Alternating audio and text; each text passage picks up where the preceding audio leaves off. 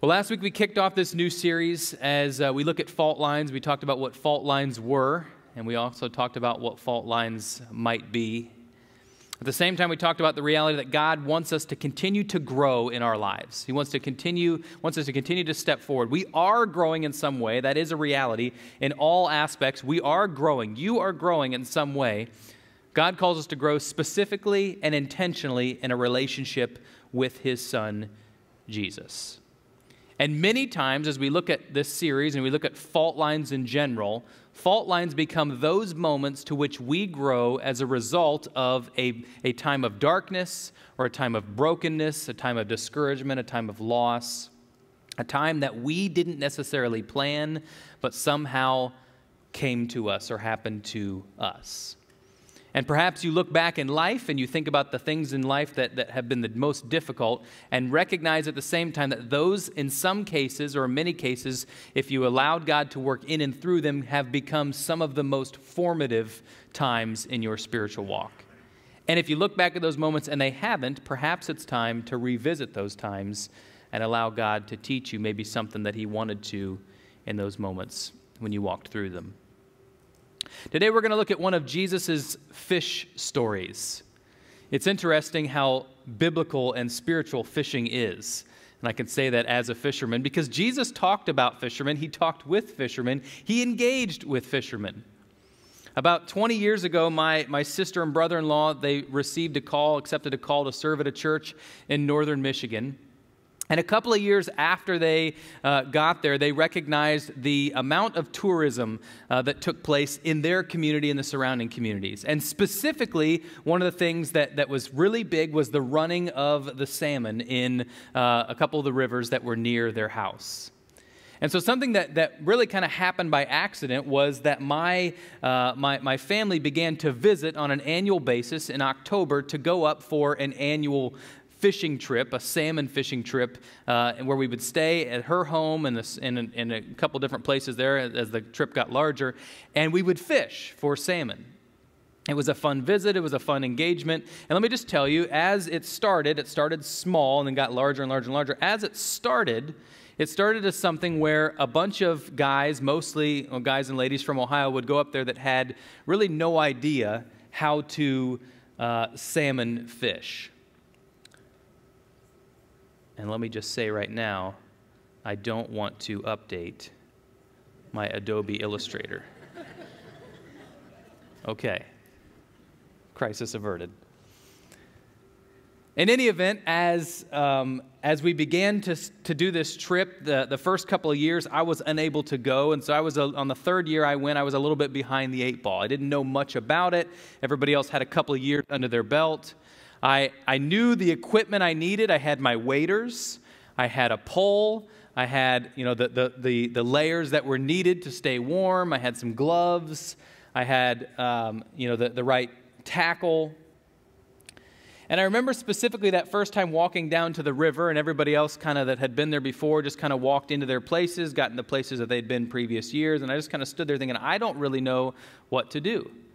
And so I asked my dad, and he said, Well, just kind of find a spot and just ease into it. And if you wear the right glasses, which I had because I, I, was told to, to, to, get a polarized sunglasses, if you wear the right glasses, you can literally see the fish in the water. And you just kind of cast at them. And I thought, Oh, okay, that, that seems easy enough. And so I found a spot where I could maybe see some fish, and it turns out they were fish. Sometimes you cast at rocks, which there's probably another illustration there. But you could see the fish, and I, and I began to walk towards uh, the fish into the water. Now I had waders on, and so I was safe, right? I was, I was not going to get wet, and the, the river was flowing, and it was not necessarily extremely uh, you know, violent where I was, so I felt fairly comfortable where I was, and I got in about to my knees. And I recognized the difficulty of casting the line where the fish were because the river would take my line every single time my lure away. And I, I thought, okay, I'll just get a little bit closer. And I'll get a, bit, little bit closer. And, and eventually I found myself almost right on top of the fish. But at the same time, I was having more difficulty now casting at the fish because the water that was coming at me was so violent and it was so difficult to even keep my footing. And as it was about this high on me, just a, a, few inches below the top of my waders, I was getting pushed and pushed and pushed. And I found myself kind of sidestepping down the river, trying to still cast and move. And eventually, as I looked around, I recognized everybody else was kind of back, right? If I wanted to see anybody else that I was fishing with, I would have had to turn my head almost like this, either upriver or downriver, to see them in the water. You might recognize, Steve, you're out too far. Well, I didn't know that at the time. I had my eyes on the fish. I had my eyes on the thing that I desired to do, the thing that I desired most. And eventually, a guy that was one of the, I would call him one of the, the, um, the guides that we had. There was two or three local guys that would come out, especially as we started out, to help us out. He was a big guy. Matter of fact, he was kind of like, a grizzly bear in a lot of ways. He was just a, a, a, big, strong guy. And I was, I remember I was out there and I kind of started walking and I heard him say, Steve, you're out too far, right? I heard it clearly, and I thought, yeah, I know, but I want to try to catch these fish. And if I, if I lock into one, I'll be able to kind of get balance, and he'll calibrate me like the fish will. I don't know what I was thinking. And so I, I was, I was kind of moving forward, and, I, and eventually I recognized, too, that typically in the river you can see the bottom, but where I was, it was getting dark, and I couldn't really see the bottom or anything that was in front of me. And so I took another step, and as I did, I began to slip, and just then I felt this paw grab the back of my waders and pull me back two or three steps. And it was that guide that I called the grizzly bear, which I'm so thankful today that he was willing enough to not just tell me what to do, but to come over and help me a little bit. I will tell you now, afterwards, when I took that, that second to last step, right before I got in almost too far, I was very, very fearful. In fact, if somebody took a picture of me, I'm sure my eyes were huge because I recognized that I was in a place where I could not control anything anymore.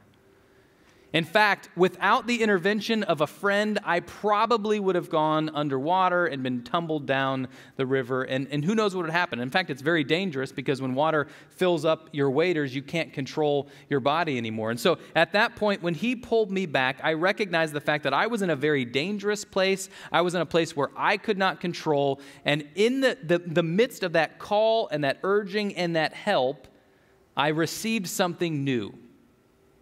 In fact, at that point, as I recognized where the fish were, the, the person, the guide that was with me, said, There's a channel that runs down this river. And from the safety of shore, he was able to point out where the channel went. He said, That channel is 25 foot deep in some places. And so while you were, you know, just three to four foot deep and it seemed really intense, if you would have taken another step or two forward, you would have slipped into that channel and probably been lost.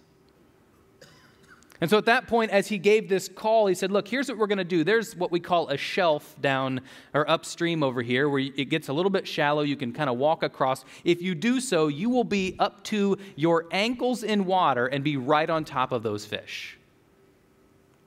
And so what he did, he served to give me a call, a new call, even in the midst of the danger to which I was in, to help me recognize there is a different way, there is a new way, there is something else that you can't even imagine that exists to help you to understand, to know that this is not the right way, this is not the next step, this is not what you should be doing. Instead, I have something else for you.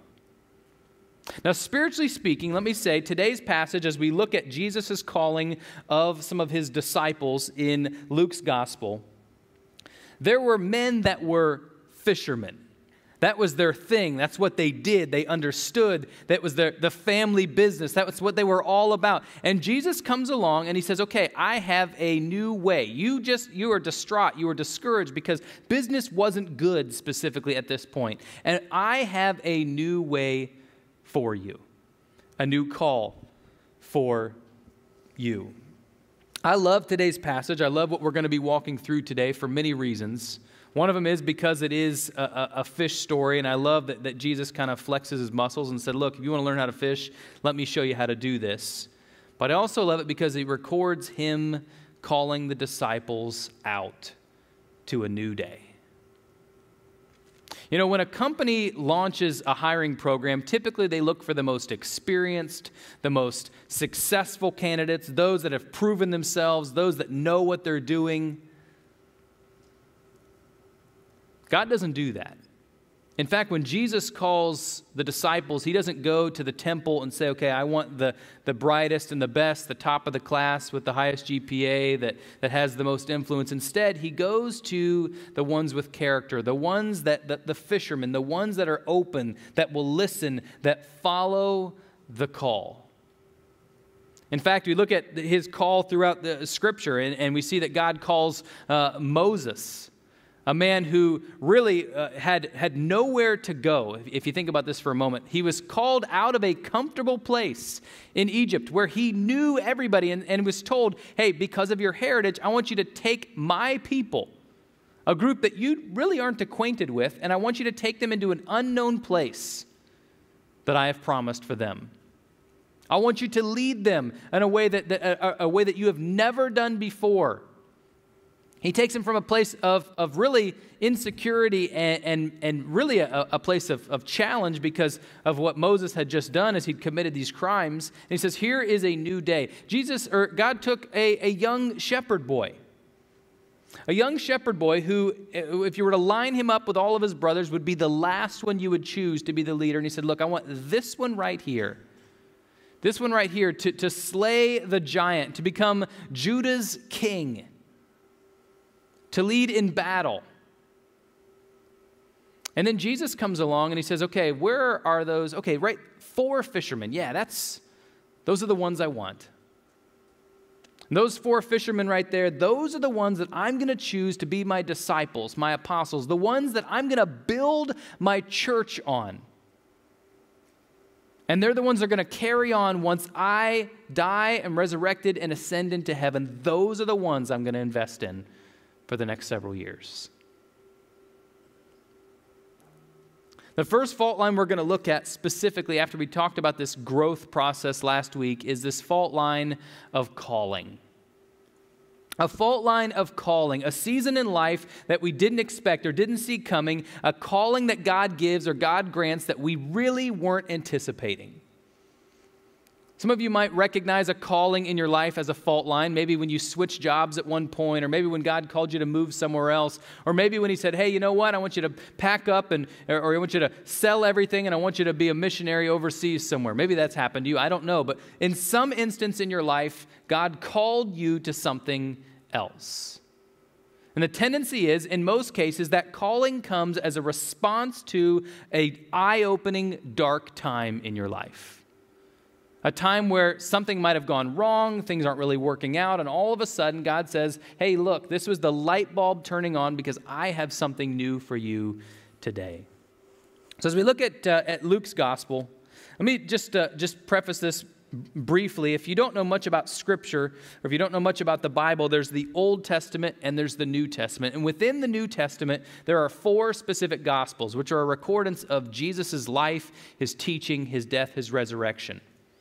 And Luke is one who records the gospel in a way for, for an understanding for, for those both that would read it in the original text and also for us today to know and understand what Jesus did, why he did it, and for us to be able to apply and to recognize how to apply his teaching. We're going to read from chapter 5 today. I'm going to read it in its entirety, and then we're going to walk back through again. Jesus calls his disciples. Here's how it goes. In verse 1, chapter 5, verse 1 says, One day as Jesus was standing by the lake of Gennesaret, the people were crowding around him and listening to the word of God.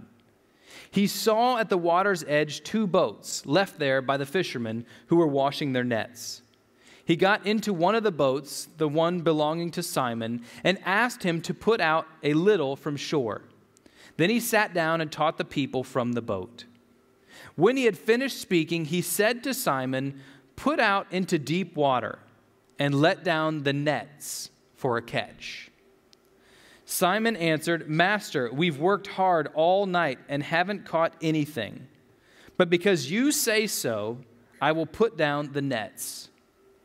Verse 6 starts when they, when they had done so, they caught such a large number of fish that their nets began to break. So they signaled their partners in the other boat to come and to help them. And they came and filled both boats so full that they began to sink. When Simon Paul saw this, when Simon Peter saw this, he fell at Jesus' knees and said, Go away from me, Lord, I am a sinful man. For he and all his companions were astonished at the catch of fish that, that, had take, that they had taken. And so were James and John, the sons of Zebedee, Simon's partners. Then Jesus said to Simon, Don't be afraid, for now on you will fish for people. So they pulled their boats up on shore, left everything, and followed him. Now, this is not a light call. This is not a temporal call. This is not a half in, half out call. Instead, and the way that the, the, the sermon notes are going to be structured today is simply like last week. We'll have three main points and then two sub points underneath each one. The first main point is this the Lord may call us to do what seems impossible. In fact, looking back at verse 4, it says this When he had finished speaking, he said to Simon, Put out into deep water and let down the nets for a catch. Now, Jesus was not a fisherman. In fact, I would imagine that in Jesus' his, his experience uh, uh, and his profession, the things he had done, that as he kind of went to this place, he recognized hey, look, while you guys didn't have a lot of, of, of, of success today, while you didn't have a, a lot of, uh, of, of uh, you didn't make a lot of money today, this might be, seem impossible or even unreasonable, but I would like you to try one more time. I know he wasn't a fisherman, but I can imagine that he at least knew people, right? And he at least knew that as he asked this, that the response that he was going to get from them was not necessarily typically going to be one where they would say, Oh, yeah, sure, you're a master fisherman. We'll follow your lead. We'll do what you say. As we read, we do recognize they do follow, but I would imagine there was a little bit of hesitancy. And the, and the first subpoint under that is the Lord commanded a strange but simple task a strange but simple task. He commanded Simon to, to enter deep water and drop nets down for a catch of fish. I mean, it, it, seems simple, but, but man, what a strange thing to ask. What a strange thing for him to ask to do, especially because he wasn't necessarily a, an expert in the area. You might recognize I am overdue for a haircut right now. And um, I will tell you right now that uh, getting a haircut is not necessarily something that's always on my agenda. It's something that's n- normally an afterthought. Hey, I'm going to run out to the store. I'll stop by and get a haircut real quick, wherever they can get me in right away. And one thing that I do almost every single time that I go to get my haircut is, and I, I, need to find a way to make it like my favorite picture, is I will pull up my phone and I will scroll to the picture and I will show it to the, to the person that's going to cut my hair and I'll say, make me look like this again. And I usually give the, hey, I'm really sorry. It's been a while. I always give all of that because normally my hair looks like this, and I normally get a lot, uh, a lot of hair cut off, right? And so I always say, you know, make my hair look like this again. And then I kind of just sit there and I, will chit chat with the, the person cutting my hair. We'll talk a little bit, or if they're not talkative, I'll just kind of sit there and, and, and kind of zone out or whatever it might be. But one time, about maybe three haircuts ago, I, I, was sitting in the chair and there was a person next to me getting their haircut. And, I, and my, my eyes were open to a different way to which some people get their haircut. Right? This person was sitting there, and as she was getting her haircut, she was telling the person cutting their, her hair everything she wanted her to do. It's like, do this, do this, cut it like this, do it like that. Here's how I like it. Here's the one. And I thought, wow, that's a lot of detail. Normally I just say, make me look like this. And I let them kind of do their thing, right?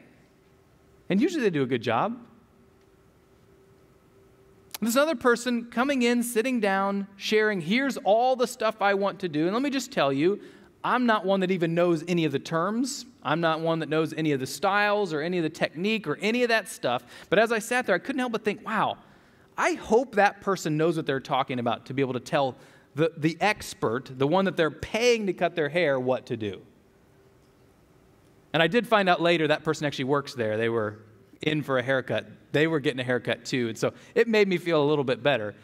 But an application with this specific point, Jesus, I'm sure, coming in and sharing this, I'm sure the disciples sat there kind of like me thinking, you know what?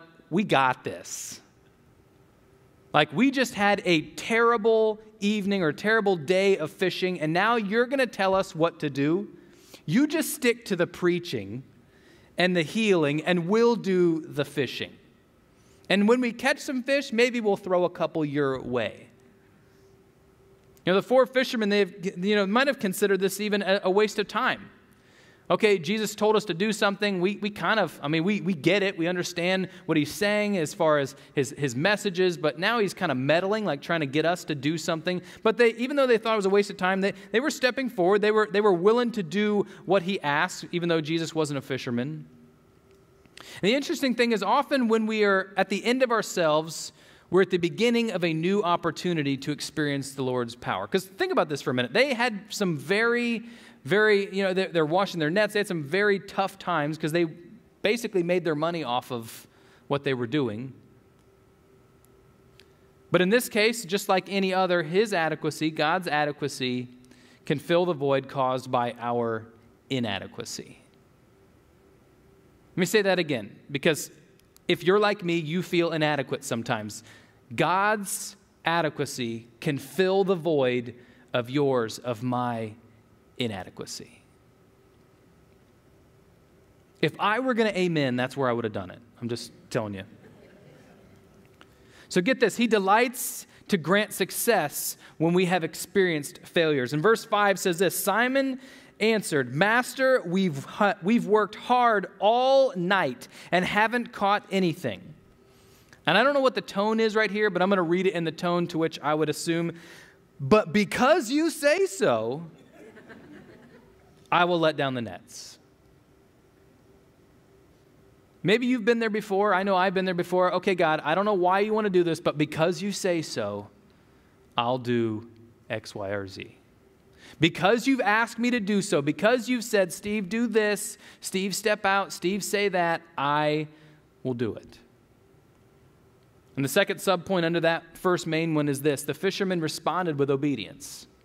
The fishermen responded with obedience. They did what God called them to do. They did what the Lord told them to do, perhaps reluctantly or without expecting results. Maybe they, they thought, okay, God, we'll do this, and then we'll kind of stick it in your face. Like, look, we're the fishermen. See? Look, up, we didn't catch anything, so next time just kind of leave that to us. But regardless, they obeyed.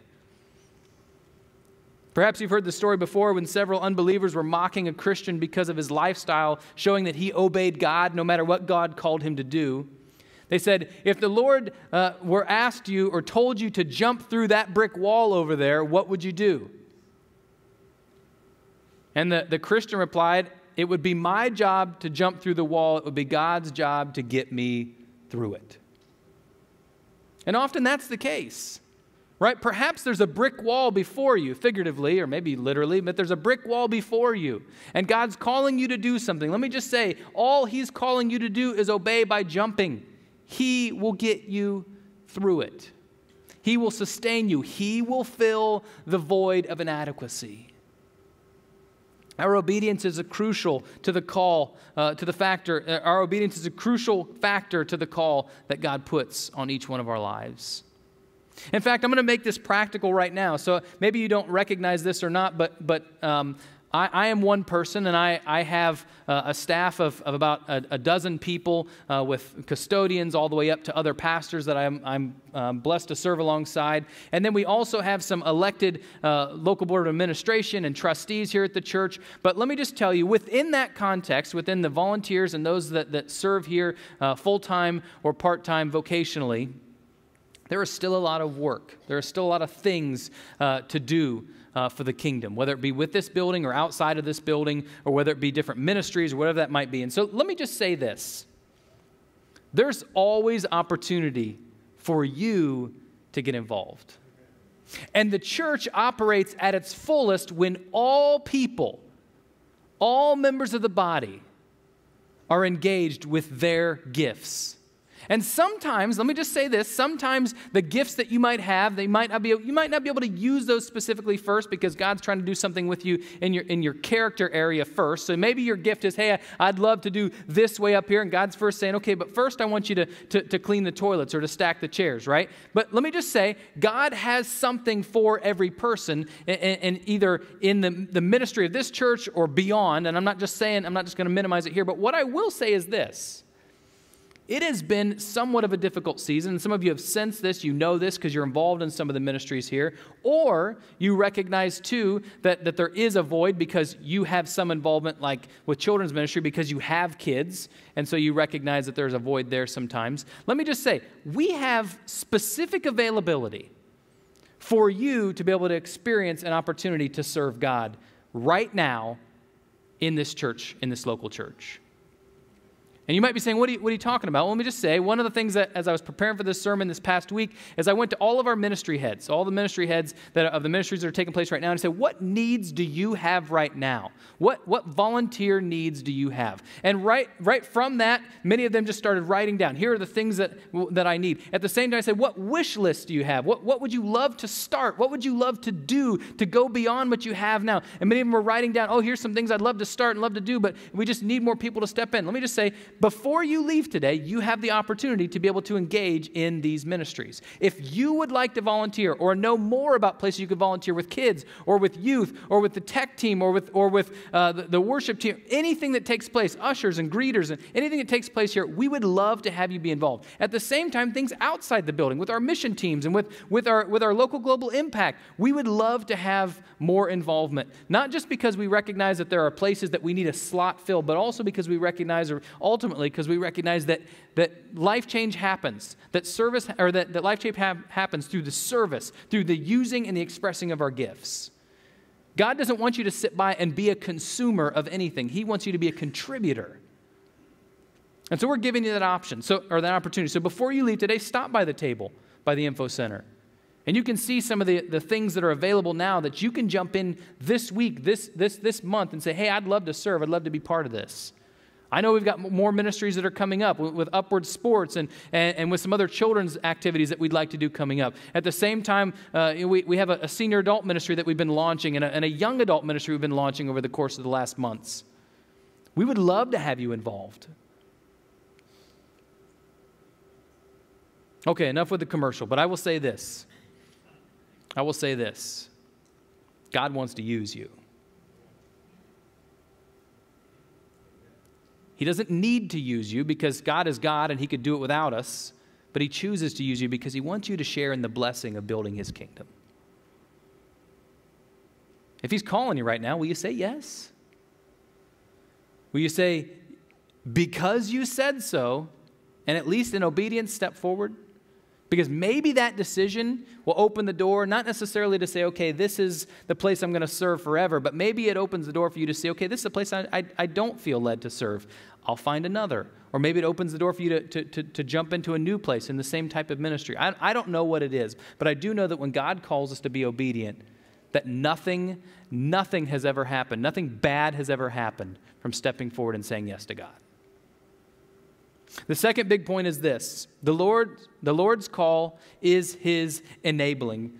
Verse 6 reads once again When they had done so, they caught such a large number of fish that their nets began to break. The fishermen had caught nothing all night. They'd had no luck. They'd done nothing to that point, and their, their prior experience and expertise had failed them. The Lord, however, turned failure into success. He grants success. Get this God grants success. Sometimes we feel inadequate, but God grants success. Sometimes we feel like we're in a place where we're, we're at the lowest of the lows, but God grants success. Often a hesitancy can come because of, of, timing or maybe a lack of confidence in one ability or maybe a doubt in the power of the one who's making the call. Maybe there's a little bit of a doubt, God, maybe you got the wrong person. I'm sure that Moses felt that way. I'm sure that David felt that way. Maybe even these disciples felt that way. I think you got the wrong person. You're looking for my brother, you're looking for so and so, but not me. I don't think that I can do this. Maybe you doubt the, the power of the one who's making the call. Like, hey, I'm not prepared. I don't have the ability. I don't have the talent. I don't have the background that somebody else has. Maybe you should call someone else. I'm told that a, a, a, a nanny goat, which is a mother goat, can recognize the, the voice of any of her babies, no matter how many kids she ever has, she can recognize the voice of, their, of her babies for her whole life. So whether they are separated and taken somewhere else, she can recognize them forever. And I, have done some research on this, and I, I, have I've found that uh, through confirmation of Wikipedia that this is true, right? Because everything on the internet is true. But in any event, I have found it to be somewhat true in, in, my, own, uh, in my own hobby. I, I do have uh, some goats, and, and I, I do enjoy uh, kind of watching them interact. They are a pack animal, and so they stay together. And, and it's interesting when one kind of loses sight of the others, how they'll call out. And one of the things that I like to do is I like to let them out. So I have a, a big penned in area, but I also let them out just kind of free range in the backyard a little bit, and it's, it's kind of free mowing, so it's really nice. But they'll get out and they'll kind of run around. And from time to time, I have to put them back in because they won't go in on their own. And so I'll get some treats, and it's amazing what they'll do for just a small Cool Whip container full of corn. But I'll get some treats and I'll, I'll put them together, I'll put some pellets in there, I'll go in and I'll shake it, and I'll say, okay, come on, come on, goats, come on in. And, and, and they'll begin to come sometimes, but sometimes they just kind of stand there like, no, we're not coming. We know what you're going to do. There's perfectly good flowers that your wife planted over here that we want to eat before we come in. We're not coming in, right? And so I'll be shaking it and shaking it. And finally, I'll take it out to one of the, the, the, the trendsetters of the groups, one of the nannies, and I'll let them eat a little bit. And eventually, like, they'll perk up and they're excited, and I'll start to walk back towards the pen, and they'll just kind of follow right along. And they're following and they're following. The other ones are perking up, like, what's going on there? And as soon as that one calls out, kind of like, hey, yeah, it's safe, let's go, right? All the rest of them will tear off and follow. All the rest of them will follow and be on their way. And it's almost like the, the, the, the, confidence factor has gone through the roof because, okay, one that we respect, one that, that we recognize, one that, that we uh, give all of our, of our attention to has said, this is okay. Now we can go, now we can follow. All right, we get you, guy with the corn. We understand you, you feed us and you take care of us, but, but but we're kind of our own deal over here. And so we want to make sure that this is, this is legit before we're going to follow. Let me just tell you, God, first of all, God, in some ways, I think, has created the, the nanny goat like himself. He never forgets the voice of his children. And at the same time, that call that he has, the way that he, he engages, the way that, he, the way that he, he engages with, with any one of us, with any person, there's credibility there because he's the ultimate authority, not just because he's all powerful, but because he is the source of love. He cares for us. He grants joy for us. He grants peace for us. He's not in it for himself in any way, but instead, because of his love, he works all things out for his glory and for our good. And jumping into the next verse, it's, it's so amazing to see what happens here because he doesn't stop there. It generates this, this process of making disciples who make disciples, right? I love this so much, especially as it pertains to kind of our vision statement of, making, um, of creating a, a culture of making disciples who make disciples. Because right here we see these disciples were impacted by Jesus' work. They listened, they obeyed. And then the next thing that happens in verse 7 is so they signaled their partners in the other boat to come and help them. And they came and filled both boats so full that they they began to sink. God did a great work. He brought forth a great bounty, great fruit in their lives, and the result was they held it in and they kept it to themselves, right? No. They told those that were around them, look what's happened here. Look what God's doing. We want you to be part of this. And disciples then continued to make disciples. The movement continued, and more were brought into the fold. And the point is this a, a, a, he grants abundant success. It's beyond just the temporal, just the things that we see now, but it's abundant. It's beyond that. And let me just say, you know, not only did the, did the nets become, did they start to break, but the fishermen's boats, they were loaded so full that they began to sink. Think about that for just a moment. If we respond in obedience to what the Lord calls us to do, we will be successful. But don't take this the wrong way. This isn't a, okay, when, when you come to God, you get all the things you want. Instead, success may not conform to the world's uh, definition of what success is, but it will conform to what God considers success to be. And it will be eternal. Because success in this life that we recognize from the world's perspective is not eternal, it's temporal, it's temporary. But what God grants as success is, is, is eternal. 1 Corinthians uh, chapter 9, verse 24 and 25 says, Do you not know that in a race all runners run, but only one gets the prize? Run in such a way as to get the prize. Everyone who competes in the games goes into strict training. They do it to get a crown that will not last, but we do it to get a crown that will last forever. In fact, 1 John 2:17 reads, "The world and the world and it despises pass away, but whoever does the will of God lives forever." Rounding this out as we go to the third big point is this the Lord's call magnifies his grace. The Lord's call magnifies his grace. Verse 8 and 9 reads When Simon Peter saw this, he fell at Jesus' knees and said, Go away from me, Lord, I am a sinful man. For he and all his companions were astonished at the catch of fish that they had taken. The call of God sheds light on darkness and provides transformation. Get this. Call, the call of God sheds light on the darkness. So in God's call, there was a, there was a light shining, a light that was shed on the darkness in the life uh, of, of Peter. And so there, there was this recognition that transformation had to happen. There had to be a change in his life. He had to be made new and different because he was in the presence of a holy God. Here we see that it moves into something more spiritual. It's not just about catching fish anymore or following God's rule or his law, but it's also about the formation that he wants to do in and through us through service.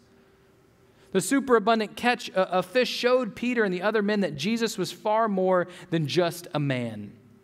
The event also showed how far below Jesus' perfection that they had fallen. And so, therefore, Peter, he, he confesses his sinfulness and urges God for the Father through Jesus to, to depart from him. There's this contrast that we see between sin and between holiness. This past summer, we were able to, to go on a, a vacation, and, and while we were there, we, were, we would walk on the beach, and I was walking with one of my sons, and, and as we walked, he, he talked about how beautiful things were. And I thought at a young age, well, that's neat that he, he's recognizing the, the, the, the, the sky and the, and the ocean and the sand. And I, and I watched him, especially the, the, the last time we went on a, on a, on a uh, walk down the beach, I watched him as he uh, brought a Walmart bag or a grocery bag with him, a plastic bag with him and collected the trash along the beach as we walked. And I, am I'm, I'm going to brag on him a little bit because I'm, I'm proud of him for doing this. And, and, I, and I recognize, you know, as he walked down there, he wanted to, he wanted to, to, to bring forth an opportunity to, uh, to keep the beauty where it was and to get, you know, pick up litter and get rid of it. But it also illustrates something so much greater in, in the context of this passage. It's a recognition of the fact, this contrast between the beauty that God created and, and, and the dirtiness, the, the, the, uh, the, the, the destruction, the shortcoming of man, of humankind. This contrast brought forth an opportunity not just for them to, to receive, to gain something physical, something tangible in the moment, but also to bring forth the holiness, the understanding that God provides more. He wants more for us and for each one of us and for the people that we serve in a spiritual sense. Verses 10, picking back up, verses 10 and 11 read, And so were James and, and John, the sons of Zebedee, Simon's partners, as they were astonished as well. Then Jesus said to Simon, Don't be afraid. From now on, you will fish for people. So they pulled their boats up on shore, left everything, and followed him. And that third or that second point under that third big point is this the Lord uses our shortcomings as a means to commission us for his good works. The Lord uses the fault line moments in our lives, whether they're self inflicted or whether they just happen to us because of the sinful world that we live in, God uses those things as a means to commission us for his good works. And sometimes it's going to be specific and it's going to be easy and it's going to be clear. This is what I'm calling you to. And sometimes it's going to be something where it's just an eye opener. He says, Look, I recognize you've kind of drifted. There's mission drift going on in your life. I have a mission for you. Don't lose sight of what's most important. Yes, continue to work, continue to do the thing that you do with your hands, like, like Paul did, but at the same time, recognize that it's much larger than just going to work every day or going to school every day. There's something greater that I want to accomplish in and through you during this time. The Lord uses our shortcomings as a means to commission us for his good works, for his good. Jesus commands the four fishermen to follow him, and he promised that they would become fishers of men. The Lord calls the imperfect to know him and to serve him. The, uh, the, the, called and the commissioned uh, fishermen left the greatest business opportunity of their careers to follow Jesus. Get that? It was what they knew, it was their family heritage, it was what they understood. And because of this downtime, God was able to come in through the person of Jesus and say, Look, here's what I have for you. See, the Lord's call is more valuable than all the wealth, all the fame, anything that we can, we can, we can gain here on earth. Perhaps the greatest sacrifice, the greatest following of a call can be illustrated through the greatest person who ever lived. Think about this, this, this context for just a moment. God the Son, Jesus, is in heaven. He's in a place of holiness. He's in a place where no pain and no anguish with God the Father, God the Holy Spirit. And at a certain point, God the Father sends Jesus in, in, in, a humble beginning to earth. He was born as a baby. He grows up in a broken world. He lives a life honoring to God. He lives a life where he, he's, he's completely on board with, with what God the Father has for him, and eventually gets to a point in these last days before his death, and he recognizes the burden into which he is carrying. In his darkest place, now, where he is, what he's walked through, there's things that, that, that, that came at him that he did not deserve, that he did not do, that he did not bring on himself. We know that about a holy God, but he's in this place. And at a certain point, God the Father says, okay, now it is time. And timing is everything when it comes to God. Now it is time. And Jesus' response is, you know what? This is not necessarily what I want to do. This is not necessarily what I, I, really want to jump into. Not my will, but yours be done. And God the Father's call on his life is to step forward and to fulfill the gospel, the prophecy, the will of the Father. And so Jesus doesn't just kind of share this and say, you know, you should call people, you should tell, I'm going to call people, to tell them what to do, and, and we should respond to that. No, he also lived it by coming to this place, which I'm sure is, is the ultimate fault line, coming to a place of brokenness. And then living in a place, uh, especially in those last days, where I'm sure it would have been easier to just say no and walk away. I'm sure he felt inadequate. I'm sure he felt like he was all alone. And at a certain point, he was all alone. But he said yes. So I want to leave you with this parting question today before we close in prayer. And it's basically looking at this, the concept of where we are. What, what started as a desperate situation for these fishermen partners became an opportunity to exercise the Lord's call. And here, here's the question When we are at our lowest point and we find the Lord's beckoning us to a higher call, how will we respond? How will you respond? And I'll even make this more present. Perhaps today you are experiencing it through the, the, the, result of this pandemic or through a loss of a loved one or through the loss of a job or, or whatever it might be, a broken relationship. Let me just ask this How are you? How will you respond to God's call?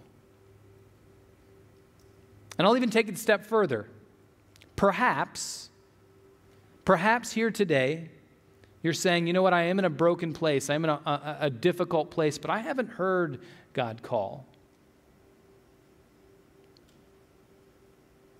Maybe the response there is to open yourself up and to see what God wants to say to you at this point doesn't say the disciples ran away. It says the disciples were there. They were listening. They were, they were, they were listening to, the, to Jesus talk as they washed their nets. They were, they were in that place. They were in proximity with Jesus. And so maybe backing up, part of it might be what's God saying to you? And the second thing is, if He's calling you, will you respond?